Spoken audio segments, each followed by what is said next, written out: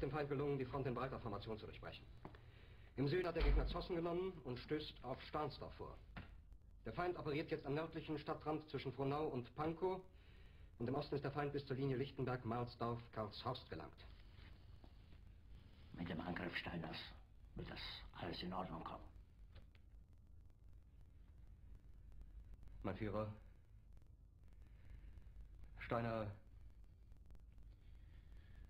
Steiner konnte nicht genügend Kräfte für einen Angriff massieren. Der Angriff Steiner ist nicht erfolgt.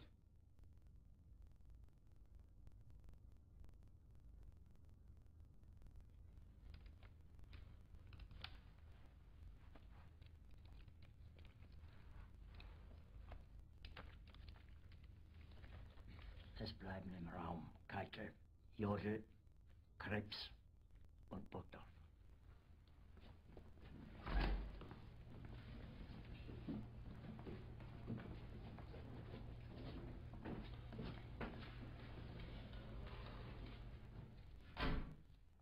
Das war ein Befehl! Der Angriff Steiners war ein Befehl! Sie, dass Sie es wagen, sich meinen Befehl zu widersetzen? So weit ist das also gekommen. Das Militär hat mich belogen!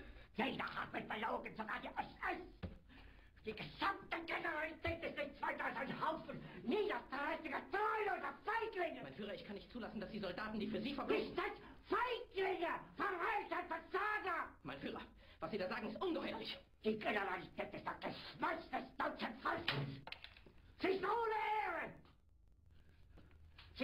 Generale, weil Sie Jahre auf Militärakademien zugebracht haben, nur um zu lernen, wie man Messer und Gabel hält! Jahrelang hat das Militär meine Aktionen nur behindert! Es hat mich jeden nur erfindlichen Widerstand in den Weg gelegt! Ich hätte gut daran getan, von Jahren alle höheren Offiziere registrieren zu lassen, wie Stalin!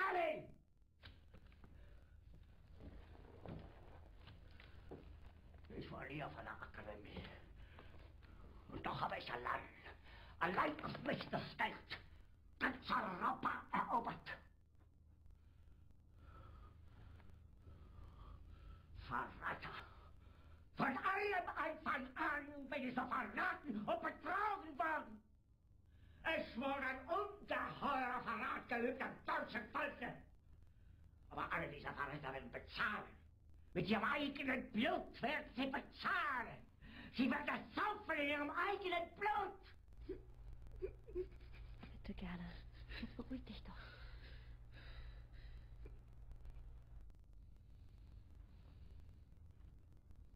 Meine Befehle sind in den Wind gesprochen. Es ist unmöglich, unter diesen Umständen zu führen. Es ist aus.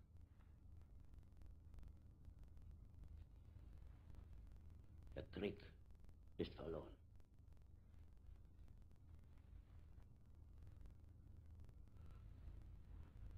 Aber wenn Sie, meine Herren, glauben, dass ich deswegen Berlin verlasse, irren Sie sich gewaltig.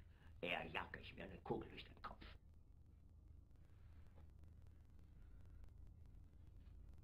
Tun Sie, was Sie wollen.